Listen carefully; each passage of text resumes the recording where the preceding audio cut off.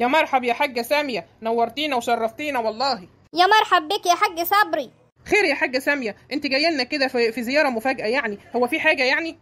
أيوه يا حاج صبري والله أنا كنت جايبة لكم عريس راجل كده مهندس ومحترم عشان بنتكم شيماء. عريس ليا أنا يا طنط؟ أيوه طبعا يا بنت عريس ليكي هو انت لسه صغيرة ولا إيه؟ والله كتر خير طنط دي إنها جايبة لك عريس عشان تتجوزي بقى وتغوري من وشنا. بص بقى يا شيماء يا بنتي أنا جايبة لك عريس راجل مهندس ومحترم ومن عيلة كبيرة. والله يا ست الكل يا بخت من وفق راسين في الحلال. الله ده الجرس بيضرب شكله كده العريس جه لما أقوم عشان أفتح له. سلام عليكم يا حاج وعليكم السلام. إزيك يا عمي؟ يا مرحب يا ابني. أنا جاي على العنوان اللي اديتهولي الحاجة سامية. آه, آه أنت العريس؟ أهلا يا ابني اتفضل. تعالى تعالى يا باشمهندس. نورت الدنيا كلها والله يا باشمهندس. إزيك يا طنط عاملة إيه؟ بخير يا ابني والله. هي دي بقى العروسة؟ أيوه يا ابني هي دي العروسة. طبعا إذنكم أنا بقى يا جماعة. والله يا عمي أنا كان نفسي أناسب حضرتك بس بس إيه يا ابني؟ ده بيتك يا ابني وبعدين ده هيبقى نسب. والنسب ده يا ابني بيبقى مبني على أهم حاجة هي الصراحة. وأنا كده عايزك تقول كل اللي جواك عايزك تصارحني بأي حاجة جواك. عشان أنا حاسس كده إنك عايز تقول حاجة. أنا بس كنت عايز أطلب منك حاجة يعني بس يا عمي. أنا كنت عايز أقعد مع العروسة خمس دقايق بس. مفيش مشكلة يا ابني. ما هو أنتوا يا ابني ما تعرفوش بعض خالص. أول مرة تشوفوا بعض. ما هو ده جواز صالونات وأنا هسمح لكم بخمس دقايق تقعدوا مع بعض وتتكلموا مع بعض. ونشوف لو الدنيا مشيت كده وعجبتوا بعضكم. يبقى خير وبركة. وأنا برضه هنتهز الفرصة وأسأل عليك وأسأل على أهلك. لكن بقى إذا ما عجبتوش بعض بقى وما حصلش توفيق يبقى دي حاجة بقى بتاعت ربنا ملناش يد فيها. يا شيماء. يا شيماء. نعم يا بابا. تعالي يا بنتي. تعالي اقعدي مع الباشمهندس كده خمس دقايق. اتكلموا مع بعض ولو الحال عجبكم كان بها. يلا بينا إحنا يا حاجة سامية آه، نقعد كده في أي مكان تاني لحد ما يتكلموا مع بعض خمس دقايق. وماله وماله يا حاج؟ ما يضرش. بصي يا انسه شيماء أنا كنت عايز أسألك شوية أسئلة كده بس عشان خاطر الظروف اللي إحنا فيها يعني أنا هسألك سؤالين اتنين بس. اتفضل. لو أنا راجع من الشغل وإنتي طبخه نص فرخة هتعملي إيه؟ يعني إيه؟ مش فاهمة. هناكل عادي.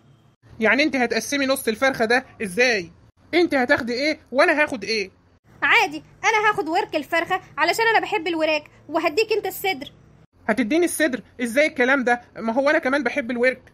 خلاص عادي مفيش مشكلة. هديك حتة من الورك وحتة من الصدر. بصراحة مش هو ده الرد اللي أنا كنت متوقعه خالص.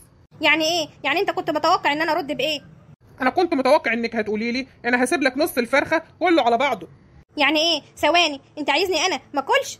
يعني هديك نص الفرخة كله وأنا ما أكلش؟ أكيد طبعا. ما أنا هبقى جاي من الشغل تعبان وشقيان ولازم آكل وأتغذى. اللي هو إزاي يعني؟ أنا مش فاهمة حاجة. طب خلاص سيبك من السؤال ده خالص. هسألك سؤال تاني. افرض إن أنا طلعت في شغل وقعدت 10 أيام بره البيت أنت هتاكلي إيه؟ هطبخ وهاكل عادي جدا زي أي حد. إزاي يعني؟ يعني هيجيلك قلب تاكلي وأنا مش موجود في البيت؟ أكيد طبعا. ما هو أنا لازم آكل. ولا أنت عايزني أعيش من غير أكل؟ أنا كنت مفكر إن إجابتك غير كده خالص. الله أمال كنت عايزني أرد عليك وأقول لك إيه طيب؟ كنت مفكرك يعني هتقضيها تاكلي عيش وجبن وكده يعني أي حاجة. بص بقى يا باش مهندس أنت تروح لمامتك تطبخ لك نص فرخة تاكله كله وكل شيء اسمه نصيب. في إيه يا ولاد؟ أنتوا وقفتوا مرة واحدة كده ليه؟ إيه العريس اللي أنت جايباه ده يا طنط سامية؟ هو في إيه يا ابني؟ بصراحة كده يا عمي بنتك سقطت في الامتحان. امتحان؟ امتحان إيه ده بقى اللي أنا سقطت فيه إن شاء الله؟ هو إيه يا ابني الكلام ده؟ إيه الامتحان ومش امتحان؟ هو أنا جايبة معايا مهندس ولا مدرس؟ بصراحة أنا مش فاهم أي حاجة خالص. ما تفهموني يا جماعة. فهميني أنت يا بنتي أنا مش فاهم حاجة. يا بابا العريس ده جاي يتكلم في نص فرخة. بيسألني لو أنت طبختي نص فرخة مين اللي هياكل الورك ومين اللي هياكل الصدر؟ ورك إيه وصدر إيه؟ إيه الكلام اللي هو بيتكلم فيه ده؟ الكلام ده صحيح يا حاجة سامية؟ أنت جايبه لي عريس يتشرط على بنتي مين اللي ياكل ورك الفرخة ومين اللي ياكل الصدر. بقول لك إيه يا ابني؟ هو أنت فاكر إن بيوت الناس دي لعبة في إيديك؟ عشان تدخل كده بيوت الناس وتقول أنا عايز أقعد مع العروسة خمس دقايق وأسألها سؤالين وأنا قلت إنك راجل محترم وأنا فكرتك يعني هتسألها أسئلة كده إزاي هتتعايشوا مع بعضكم؟ إزاي هتقدروا تتأقلموا في حياتكم فترة الخطوبة وفترة الجواز؟ أبص ألاقي بنتي بتقول لي إنك بتسألها على ورك فرخة مين اللي هياكل الورك ومين اللي هياكل الصدر؟ ده إيه النصيبه دي؟ إيه الكلام اللي ما يدخلش المخ ده أصلا؟ لا يا عمي بصراحة كده بنتك دي طماعة. طماعة؟ أنا بنتي طماعة؟ إيه يا ابني الكلام ده؟ يلا اتفضل من هنا توكل على الله. وعلى فكرة يا حاجة سامية أنا متأكد إن الراجل ده مش جاي من طرفك. أنا آسفة قوي يا حاج صبري والله ما كنت أعرف كده. أنا كنت مفكراه راجل محترم كده وعريس كويس ومهندس وقلت أوفق راسين في الحلال. ولا راسين في الحلال ولا إحنا عايزين الحلال بتاع الراجل ده خالص. إحنا كل اللي عايزينه الحلال بتاع ربنا. الراجل اللي هياخدها يحطها في عينيه ويصونها ويشرفها كده. ويعرف قيمتها. وعلى العموم أنا مش هغلط الغلطة دي تاني. أنا بنتي مش هتتجوز جواز الصالونات. أنا مش هكرر الغلطة دي. عمر ما عدت هدخل بيتي حد كده يقعد مع بنتي ويقول لي جواز صالونات والكلام ده. بعد كده لما يجي لها عريس إن ما كانش الإنسان اللي هيدخل بيتنا ده راجل كويس ومحترم وأنا مقتنع بيه. ولازم أكون أعرف الشخص ده كويس. واستحالة يخش بيتي أي حد كده. وبنتي كمان. لازم تكون مقتنعة جدا من جواها بالعريس ده. مش يقول لي نص فرخة وربع فرخة. إيه الكلام الفارغ ده؟ وبعدين عايز أشكرك برضو. أنت برضو كتر خيرك إن أنت يعني جايبة لها عريس. وعلى العموم شكرا يا حاجة.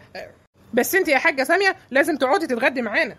أنا بتأسف لك مرة تانية يا حاج صبري. والله ما كنت أعرف إن الموضوع كده إنه هيتكلم في ربع فرخة ونص فرخة والكلام الفاضي ده. وأسفة على الإحراج. وأنا عايز أستأذن يا جماعة عشان أمشي. بص بقى يا طنط سامية بعد إذنك ما عدتيش تجيبي لي أي عرسان تانية. خلاص خلاص يا شيماء بقى ما تحرجيش طنط. هي أكيد ما كانتش تقصد هي كانت مفكرة يعني إن هي جايبة لك عريس محترم كده وبيفهم. طلع قليل الذوق وجلياط. على العموم ألف شكر ألف شكر يا ست الكل. خلاص يا حاج أنا بتأسف لكم مرة تانية وعن إذنكم بقى أنا عشان أمشي. اتفضلي يا حاج. إيه ده؟ إيه ده يا بابا العريس ده؟ معلش يا بنتي ده راجل ما بيفهمش. تعرفوا يا جماعة أنا جواز الصالونات ده عمري ما اقتنعت بيه. أي نعم في جوازات كتير جدا بتنجح فيه وبتعدي وبتبقى زي الفل لكن في جوازات تانية كتير بتبقى كده يعني أي حاجة وخلاص. لا العريس بيسأل على العروسة ولا العروسة بتسأل عن العريس وتقول أنا عايزة أتجوز وخلاص. وهو كمان نفس الطريقة يقعد يدور يدور والناس تقول له تعالى وإحنا نوديك عند فلانة تشوفها. أمال هم عملوا فترة الخطوبة دي ليه؟ ما هو عشان العريس يعرف العروسة كويس وهي كمان تعرفه كويس لازم يدرسوا بعض وأخلاق بعض. ده جواز يا جماعة مش أي كلام. مش يسألها ويقول لها نص فرخة وربع فرخة وهتاكلي إيه لما اكون مش مش في البيت؟ إيه يعني هتقعد ال10 أيام اللي أنت مش موجود في البيت من غير أكل؟ لازم يا جماعة تكونوا مقتنعين كويس قوي من جواكم بالعريس اللي بيتقدم لبنتكم ده إيه؟ مش أي حد يخش بيتكم ولازم تسألوا عليه كويس ويكون راجل محترم. ونصيحتي لأي أب وأم لازم يكون في فترة خطوبة كافية بين الراجل وخطيبته. عشان ما تقعوش في الغلط اللي الناس كتير جدا بتقع فيه. بيدخلوا كده على طول يتجوزوا مسافة شهر مسافة شهرين وتتفاجئ العروسة إن العريس أخلاقه زي الزفت. والعروسة لازم تكون مقتنعة من جواها بالعريس ده وبأخلاقه وإن هو ده الإنسان اللي هي تقدر تكمل معاها حياته. ده حتى المثل بيقول حاسب قبل ما تناسب واخطب لبنتك وما تخطبش لابنك. يعني لازم تدور لها على عريس كويس عريس يقدر يصونها عريس تقدر هي تكمل معاه حياتها من البداية للنهاية. راجل يقدر يحافظ عليها كويس ويقدر قيمتها. ونصيحتي لكم يا جماعة بلاش تدخلوا بيوتكم أي حد. الراجل اللي كان داخل دلوقتي عندي يقول لي للبنت آه ورك الفرخة وصدر الفرخة والكلام الفاضي ده. إيه ده؟ هو ده اللي أنت هتكمل عليه حياتك؟ مش المفروض تدرس أخلاقها؟ أنت جاي أمال أنت جاي عشان تخطبها ليه؟ وفترة الخطوبة دي عملوها عشان إيه؟ ليه تسألها ورك فرخة وصدر فرخة وهتتصرف؟ إيه الكلام الفاضي ده؟ لازم يكون راجل متدين وعلى خلق من رضيتم دينه فزوجوه.